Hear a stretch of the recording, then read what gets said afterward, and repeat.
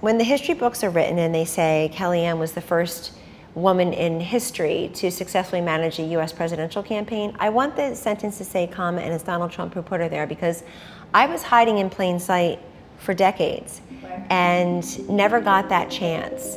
But he confides and consults in the women and has made sure that we're always on equal footing with the men. A lot of men here in this complex, in this White House, most of them gone, by the way, uh, well, you have tried to stop me. Yes, you have survived everyone. I've tried to stop me. When I worked for President Obama and there was changes in the world, like the Obamacare website didn't work or we had problems with Congress, his approval rating would go up and down. He would lose Democrats even sometimes. But there is something about the appeal of President Trump with his supporters. They are, they are bought in. They, there's something that they feel really deeply about what they get out of his presidency.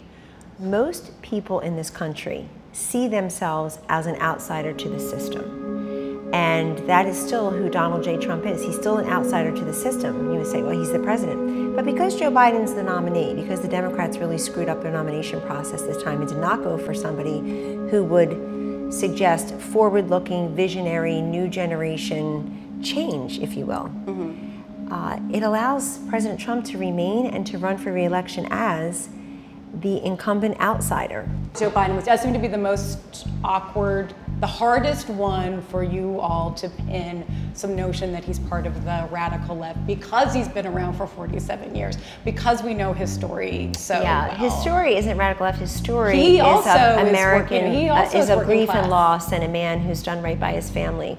God bless him and we should all we should all applaud that. It's a pretty good part of the There's American no reason story. he should be doing the Bernie Manifesto and listening to AOC on Green New Deal. So 16, you know what happened? What happened happened. We both know. Um, 18, a lot of women left the Republicans, voted for Democrats in the midterm. Without Joe Biden's help, nobody even asked um, him to um, campaign for them hardly, did they? But Joe party. Biden is still doing He's better. trying to fit Joe into Biden, a party that left him a long time ago. Joe Biden is still doing better. I mean, the the gender gap is monstrous. And you all have been running ads trying to frighten women into supporting Trump. I want to just say about the gender gap there's no such thing as women's issues. It's so offensive to hear the phrase women's issues. In 30 years of doing this, as you have, yeah. I have never a single time in my career, Jennifer, heard the phrase men's issues. Of course, I agree. Everybody believes men can think of everything, but right. women, but you're not, we can only think of a couple things. Still not right. I agree. There's no such thing as a women's issue, but still Biden is doing better. Biden's still doing better with women. If women look at the progress report, they're going to know that this is a president who kept so many promises. Jennifer, you and I know, the he ladies know that we love men who keep their promises. And that's very important to us. Keep their word and keep their promises. But he's done in 47 months what Joe Biden didn't do in 47 years. That is the easiest way to contrast. You personally really believe in Donald Trump, right? You I very much believe in America, and I think America needs a leader for a time such as this. This is what I think Democrats see. Okay, so they're like, all right, we have the U.S. is leading the world in deaths due to COVID. We are in the middle of the greatest economic downturn since the Great Depression. For some reason, cynically, the Democrats believe they can win an election based on a once in a century tragedy that swept across this nation. Isn't it so sad that they see political opportunism in a pandemic? We don't. I we see a dual medical and, and, financial crisis. I think Biden would say he sees a vacuum of leadership that he could step into. I think it all turned around five or six weeks ago. President Trump said to the country and tweeted out, I'm wearing a mask, I want you to wear a mask.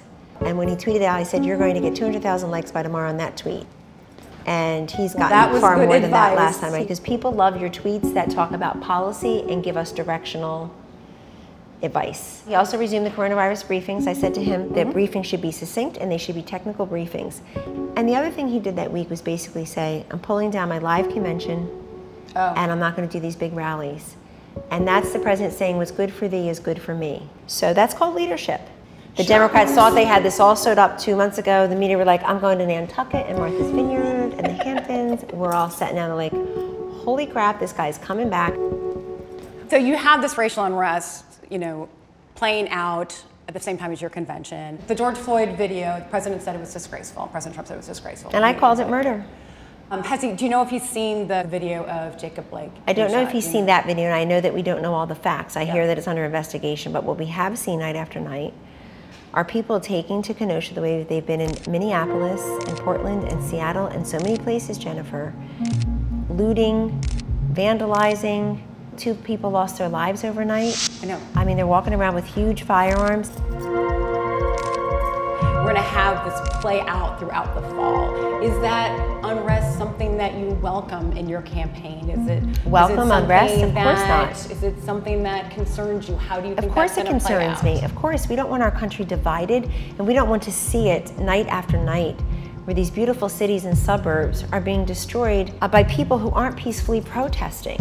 Many protesters support were. Jennifer, do you think peaceful protesters killed two people in Kenosha overnight with firearms? No, Were they really peaceful? concerning. Or is that murder?